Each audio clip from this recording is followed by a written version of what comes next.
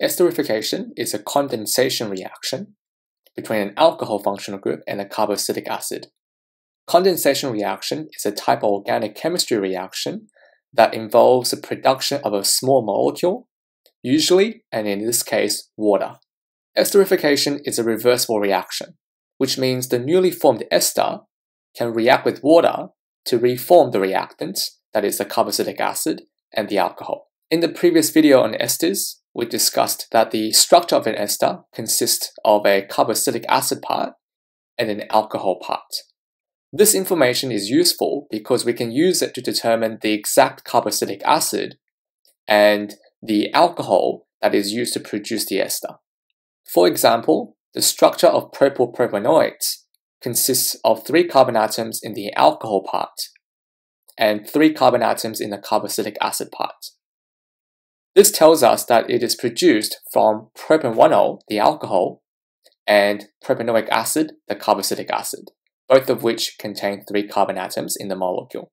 Using the same approach, butyl ethanoate is formed from butanol and ethanoic acid.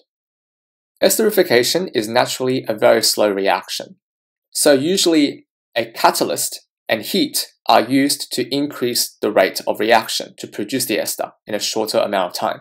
Concentrated sulfuric acid, H2SO4, is the go-to catalyst as it lowers the activation energy of the reaction by providing an alternate reaction pathway.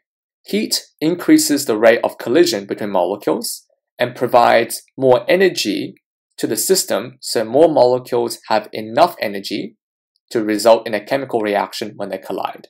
Both effects result in a faster reaction. Besides being a catalyst, concentrated sulfuric acid also provides another benefit. It has a dehydrating effect, so water is removed from the reversible reaction. This causes the equilibrium to shift to the product side, that is the right side of the reaction, to increase the amount of water. And this is according to Le Chatelier's principle. By doing so, the amount of ester produced is further increased. Therefore, the use of concentrated sulfuric acid not only increases the reaction rate as a catalyst, but also the ester yield. As discussed earlier, esterification is a condensation reaction whereby a water molecule is produced along with the ester. It is important to note that the water molecule produced consists of the OH group from the carboxylic acid and the proton from the alcohol molecule. This also means that the oxygen atom in the ester molecule always originates from the alcohol. When performing an esterification reaction, it is crucial to keep in mind that the heat should not be supplied by a Bunsen burner. As the naked flame in the presence of alcohol, which is a flammable substance, poses a huge fire hazard. Therefore, the Bunsen burner is always replaced with a heating mantle to reduce this risk. Furthermore, heating promotes the loss of volatile compounds, that is the alcohol, carboxylic acid, and the ester as they evaporate into gases. This is a problem because we want the reactant to remain the vessel so they can continue to react to produce the ester, which we also want to preserve as that is the goal of the reaction. To resolve this problem, we cannot simply place a cap to close the flask, as this would create another problem, whereby the pressure builds up in the flask, which can ultimately lead to the breakage of the material. The solution to these problems is using reflux. Reflux refers to connecting a long glass column to the opening of the flask, which allows volatile substances to ascend without building up the pressure in the flask. To prevent the volatile substances from leaving the reaction vessel, a condenser is set up around the column such that when the cold water flows through the condenser, it is able to absorb heat from the volatile substances in the column. This causes them to condense, and as the substances return to liquid state, they descend down the column due to gravity. The cold water usually enters the condenser at the bottom and exits as warm water at the top. This is so that the flow against gravity prolongs the time during which cold water can absorb the heat and increases the effectiveness of the condenser. Therefore, in summary, Reflux allows for faster reaction, that is through heating, without losing volatile substances and the pressure inside the flask from building up. This is a very critical reaction condition that we always implement when producing esters from alcohol and carboxylic acid. Besides heat and reflux, esterification is usually performed using a round bottom flask, which allows heat to be absorbed more evenly within the reaction mixture. Boiling chips are used to avoid a phenomenon called superheating. Superheating occurs when a mixture is heated above its boiling point, but no boiling occurs.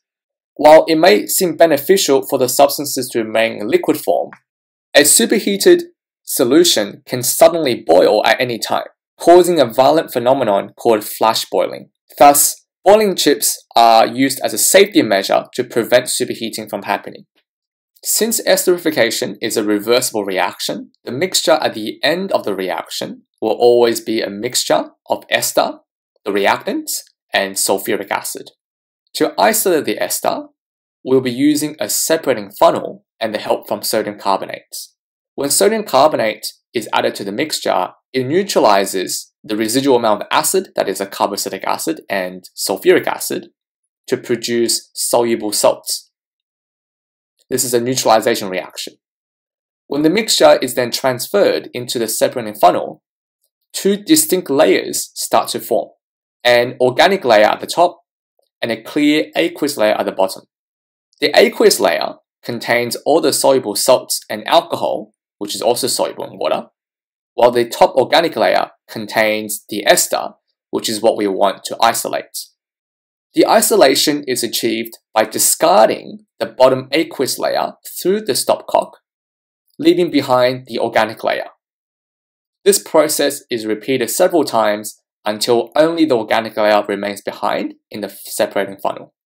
After isolating the ester, it is further purified using distillation. In our previous video on boiling point of esters, we explained that esters usually have lower boiling points than alcohol and carboxylic acids. Distillation makes use of this boiling point difference. When the temperature of the mixture is raised above the boiling point of the ester, the ester evaporates and using a condenser, it will be further returned into liquid state and collected in a separate vessel as shown here. If you smell the distillate, that is the ester, you'll recognize an aroma and that is the most convenient way of confirming that the substance is in fact an ester. In summary, the production of esters consists of three main parts. The actual formation of the ester, by reacting an alcohol and carboxylic acid in the presence of concentrated sulfuric acid, heat, and reflux. This is followed by the isolation of ester using a separating funnel and sodium carbonate for neutralization. When the ester is isolated, it is further purified using distillation, whereby the evaporation and subsequent condensation of the ester increases the purity of the final solution. The final solution can be finally identified as an ester by smelling and identifying the aroma or the scent of the product. While we spent most of the video discussing the production of esters, it is important to remind ourselves that this is a reversible reaction.